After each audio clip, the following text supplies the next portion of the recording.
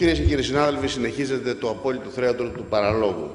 Εντός της αυτούση βρισκόμαστε 24 βουλευτές, εκ των οποίων η πλειοψηφία είναι βουλευτές που δεν έδωσαν ψήφο εμπιστοσύνη σε αυτή την κυβέρνηση. Οι δε παρόντες βουλευτές που έδωσαν ψήφο εμπιστοσύνη στην κυβέρνηση, από ό,τι άκουσα εχθές και σήμερα, κάνουν αντιπολίτευση συμπολιτευόμενοι. Ή μάλλον κάνουν συμπολίτευση αντιπολιτευόμενοι. Η πλήρης παράνοια. Άκουσα προηγουμένως τον κύριο Παυλόπουλο, ο οποίος ουσιαστικά κατακεράβνωσε την κυβέρνηση. Είπε για άκυρο προπολογισμό, για προπολογισμό που δεν μπορεί να εκτελεστεί, για προπολογισμό που δεν πρέπει ουσιαστικά να ψηφιστεί, αλλά να το ψηφίζει. Και το ίδιο ακριβώς συμβαίνει με τους περισσότερους εκ των ομιλητών. Ο κ. Αϊβαλιώτης κατέθεσε πλήθος στοιχείων που ουσιαστικά ελέγχουν την κυβέρνηση αυτή. Μια κυβέρνηση έκτρωμα. Μια κυβέρνηση η οποία έχει ένα μοναδικό σκοπό. Να παραδώσει τη χώρα στους δανειστές της. Κυρίες και κύριοι συνάδελφοι, τελειώσαν τα ψέματα.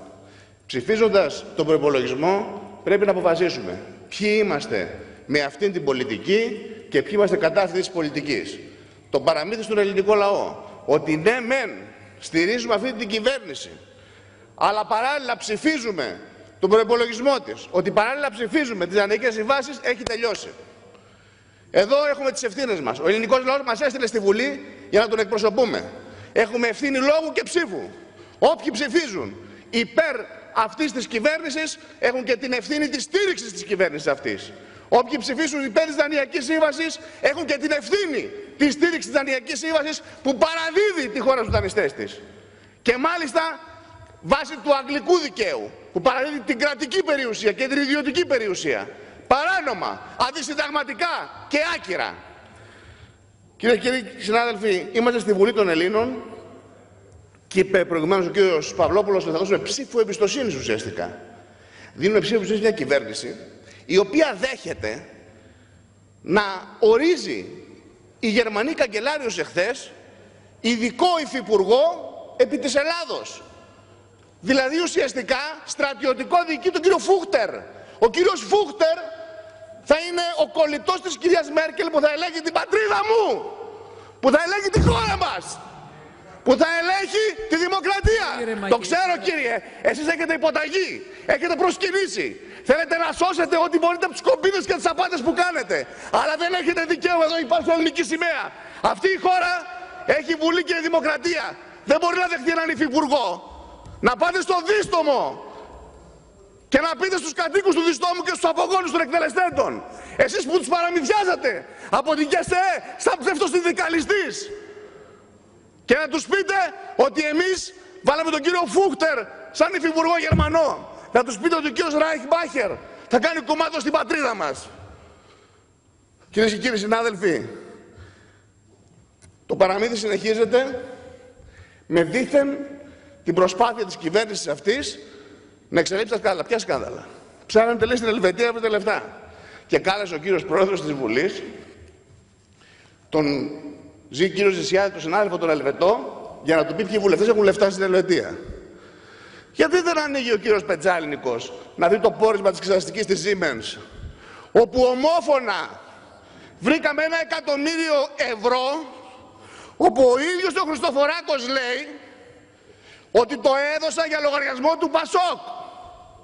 Και μάλιστα από ό,τι θυμάμαι, λέει στον εισαγγελέα το Γερμανό, τα έδωσα στον κύριο Τσουκάτο από ό,τι θυμάμαι που ήταν διαχείριση του Ταμείου. Τα λεφτά αυτά υπάρχουν. Και πού υπάρχουν, τα κατασχέσαμε. Στην Ελβετική Τράπεζα είναι τα λεφτά. Και μάλιστα ο Χριστοφοράκος έρχεται και υπογράφει σύμβαση με τη Siemens προκειμένου αυτά τα λεφτά να πάνε πίσω στη Siemens. Και ενώ ο κ. Μπαμπούκης μας έλεγε εδώ πριν από λίγους μήνες ότι θα στραφούμε κατά τη Siemens να ζητήσουμε τα 2 δισεκατομμύρια που ζήτησε η Εξεταστική Επιτροπή, τα βρήκαμε στα 200 εκατομμυριάκια, να τους τα δώσουμε τελειώνουμε. Πιστεύετε ότι υπάρχει Έλληνας πολίτης δεξιός, αριστερός, κεντρός που θα πιστέψει αυτό το παραμύθι; Καταθέτω στα πρακτικά ακόμα μια φορά το 1 εκατομμύριο του κυρίου Τσουκάτου που είναι δεσμευμένος στην Ελβετία και ζητάει Siemens. Αλλά η Ελλάδα δεν το ζητά. Ψάχνετε να βρείτε εταιρείες στην Ελβετία. Να τις ψάξουμε όλες, να τις ανοίξουμε. Γιατί δεν ψάχνετε επί ένα χρόνο τον αδερφό του πρώην Πρωθυπουργού που σας κατέδεσε την εταιρεία στην Ελβετία μαζί με τη γυναίκα τους στη Μόρς που έκανε πράσινη ανάπτυξη. Πήρα από το ρέτζιστερ πλέον του επιμελητηρίου του καντονιού του ΒΟ την εταιρεία του κυρίου Αντρίκου Παπανδρέου. Πιάστε τον. Μην περιμένετε τον κύριο Ζησιάδη. Και ψάξτε να δείτε πόσοι στέλναν λεφτά από την Αγγλία με συνεταίρους παλιούς οργανωτές συνεδρίου της Νέας Δημοκρατίας για να πούμε τα σίκα σίκα και τη σκάφη σκάφη μέσω της Citizen International για ογκολογικά συνέδρια, για παιδιατρικά συνέδρια στην ίδια πολυκατοικία που είναι η εταιρεία του αδελφού του Πρωθυπουργού.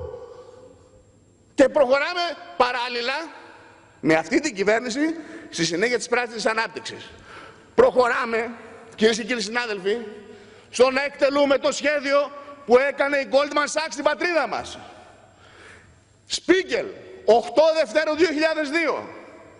New York Times, 14 Δευτέρου 2002. Αναφέρεται ότι πληρώθηκαν 300 εκατομμύρια από την ελληνική κυβέρνηση τότε με συντελεστή τον κύριο Πρωθυπουργό το σημερινό σαν πρόεδρος της Τράπεζας της Ελλάδος για να καλυφθεί ψευδός το χρέος. Τι έγινε τότε, βγάλαμε το swap.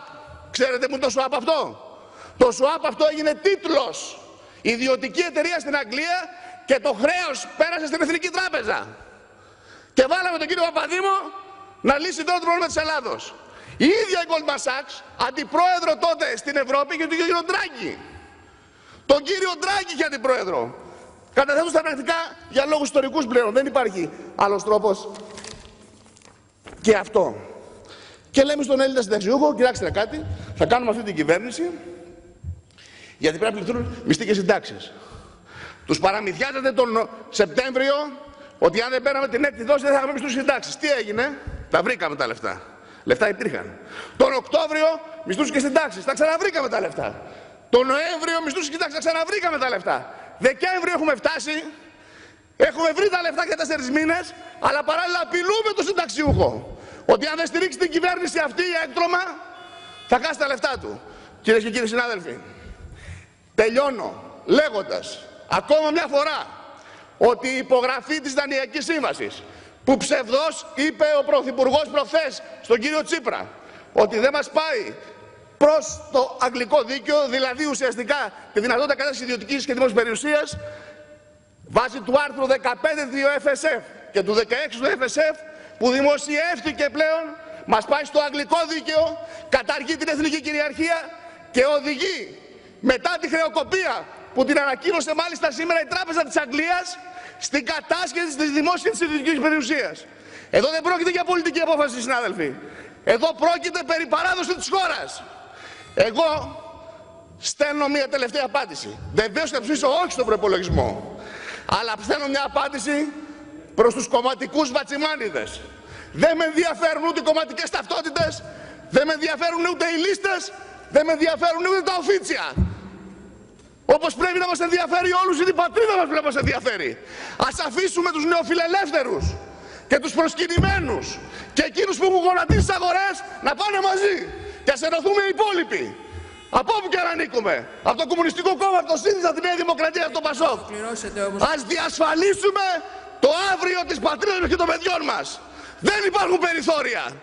Κυρίες και κύριοι συνάδελφοι, έχουμε δώσει όρκο. Θυμηθείτε το. Το λόγο έχει τώρα ο βουλευτής του ΠΑΣΟΚ, κύριος Έξαρχος